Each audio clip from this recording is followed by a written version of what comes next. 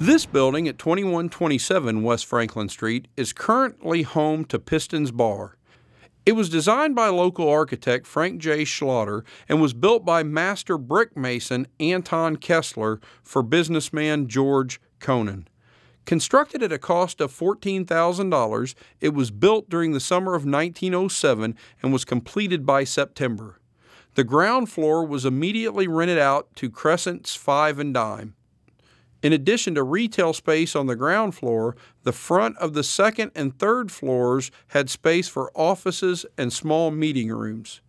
In the back was located a two story hall made to accommodate large social gatherings. The building was named after George Conen, who was a family man with several children. The building was built in the vernacular commercial style. The original first floor had banks of plate glass windows, and the sidewalk was covered with a canvas awning. Between the second and third floor, there is decorative brick detailing. The third floor contains a bank of four round arch windows. At the top of the facade, the corners are highlighted with corbelled parapets.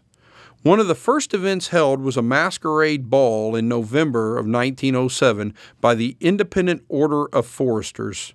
Since then, the Conen block has been home to five and dime stores until the late 1900s when it became the Franklin Floral and Framing Shop.